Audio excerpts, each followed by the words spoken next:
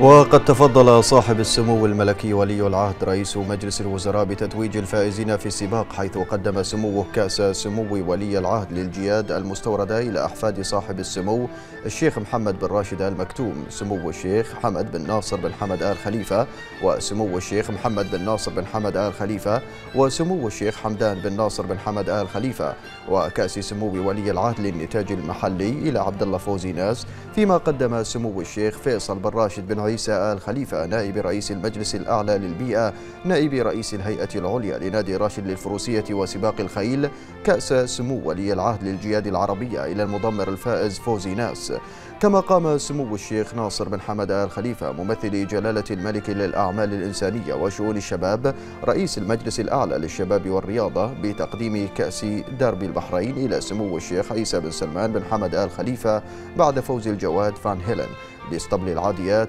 Racing بالمركز الأول في الشوط السابع فيما قدم سمو الشيخ حمد بن عبد الله بن عيسى آل خليفة بتقديم كأس Oaks البحرين إلى سمو الشيخ سلمان بن محمد بن عيسى آل خليفة فيما قدم الشيخ سلمان بن راشد آل خليفة المدير التنفيذي للشؤون التنظيمية بنادي راشد للفروسية وسباق الخيل كأس نادي البحرين للسباقات إلى المضمر الفائز علي جان. كما قام السيد علي حبيب قاسم عضو الهيئة العليا لنادي راشد للفروسية وسباق الخيل بتقديم كأس أنكورمان إلى أحفاد صاحب السمو الشيخ محمد بن راشد آل مكتوم سمو الشيخ حمد بن ناصر بن حمد آل خليفة وسمو الشيخ محمد بن ناصر بن حمد آل خليفة وسمو الشيخ حمدان بن ناصر بن حمد آل خليفة. ثم قدم ممثل الشركة الراعية كأس حوار إلى المالك الفائز حسن مفرح العجمي هذا وكان سباق كأس سمو ولي العهد لسباق الخيل قد اشتمل على ثمانية أشواط. وشهد سباق كأس سمو ولي العهد إقامة الجولة الرابعة من سلسلة سباقات بطولة البحرين الدولية لسباق الخيل والتي تقام برعاية ودعم من مجلس التنمية الاقتصادية وشركة ألمنيوم البحرين ألبا وشركة باتيلكو وبنك البحرين الوطني وبنك البحرين والكويت وبنك السلام ومجموعة GFH العالمية و Saya Corp ومركز البحرين للمجوهرات.